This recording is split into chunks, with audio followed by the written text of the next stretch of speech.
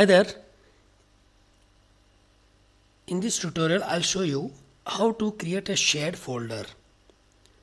If you want to have a directory or folder that you can access in your virtual machine irrespective of whether you are running a Windows operating system or a Linux operating system or some other operating system in that virtual machine if you want to access a folder that is created in your main operating system environment or your host operating system. For example if you are running a Windows operating system on your laptop or desktop and you have a virtual machine which is running Linux operating system then you can create a folder on your Windows system that is your host operating system and you can access that folder in your virtual machine.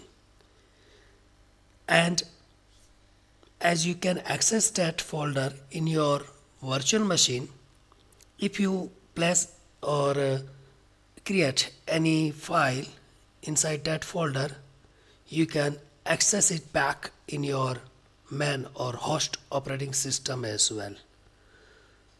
So let's see how it works. I have for example these two machines uh, they are running CentOS operating system. So it doesn't matter because you can have a Windows operating system also maybe server or uh, maybe Windows 7 or 8 or some other operating system. So steps are same. So I select this virtual machine and click settings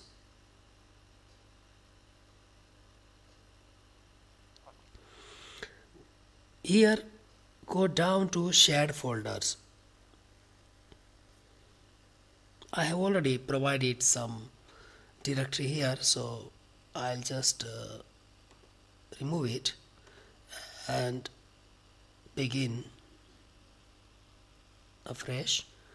So click this plus icon and uh, you see folder path here. So click here and uh, select other and then you need to provide uh, you know a directory that you can access in your virtual machine. So if you have a directory and some contents already then you can select it or otherwise create a new directory. I create a new directory here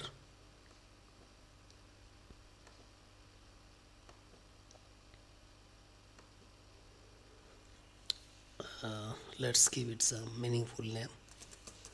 Shared folder. And select. Here you can give some other name which will be uh, you know visible in your virtual machine. So I prefer to uh, keep the name same as the original folder name click auto mount this folder will be available in your virtual machine whenever you reboot it. So it's like making this uh, um, folder permanently available. You click ok. So you see access rights are uh, full here completely and auto mount yes. And as you can see uh, the details of this uh, directory let's see what it says. Lists all shared folders accessible to this machine and use uh, this uh, command to access a shared folder.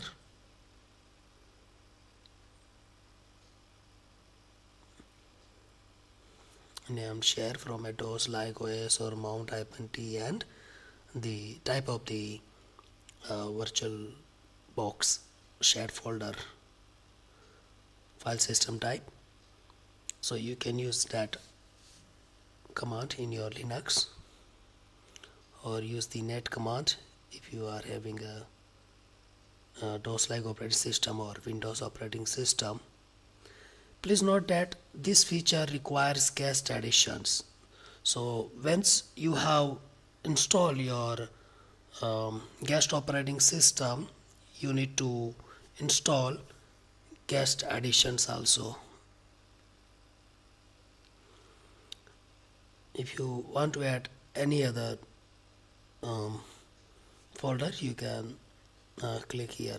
Or if you want to remove it you click here. If you want to make any changes such as uh, permissions if you make it read only then um, in the guest operating system you can not create any file or directory inside this uh, shared folder. You can only access the contents uh, already present there. Let's click ok. So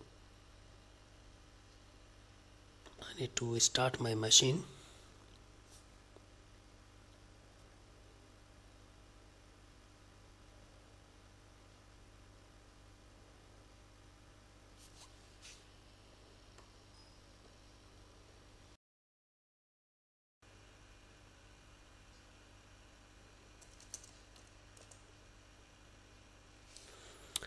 as you can see that uh, the last line you see shared folder and uh, its size and uh, the location or the mount point where the shared folder has been mounted. So it has been mounted under slash media directory and the folder name has been prefixed uh, with sf underscore to mean shared folder and then the name of the folder which uh, I gave as shared underscore folder. So I didn't have to manually mount it. I selected auto mount so it's already available. Otherwise we could use the mount command and uh, with the appropriate options as uh, were shown. There we saw in the configurations. Let's list the contents of this folder. Okay so I'm running uh, the system as a general user uh, not having admin privileges so I switch user to root. Root is the admin account in Linux. Just in case if you are not familiar with Linux. I use a df command with -h operator to see all the disks attached to my CPU or all the disk partitions. And the last one is the one that we are interested in.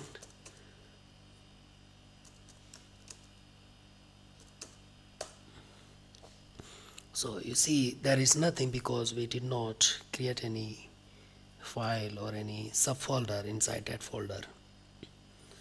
But I can go inside that folder using the cd command. And as we know there is nothing here. I can create a file here for example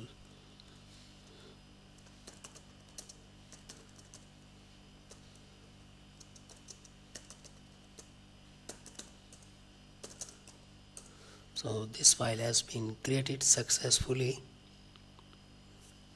I can create a subfolder here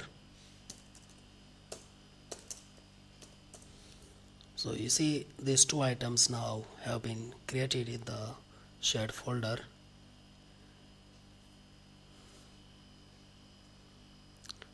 Let's look back here. Click settings.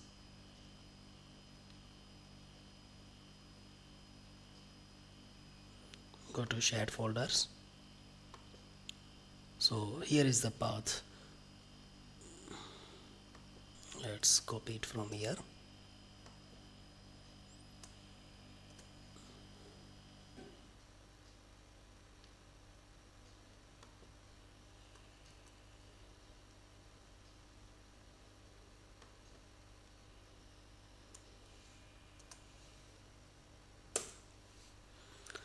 so you see the two items we just created inside our virtual machine they are available here. This uh, test uh, directory and the hello.txt file.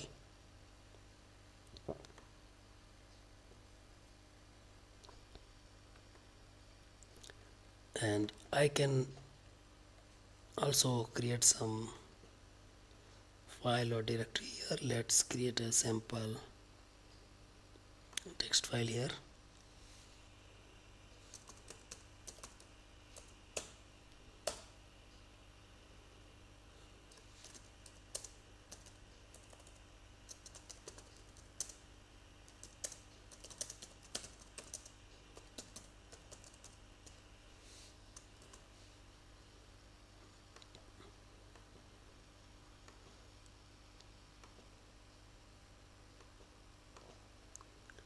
let's see the contents of the shared folder in our virtual machine. So you see the file we just created in, the, in our host operating system that is windows. The file readme.txt is available there.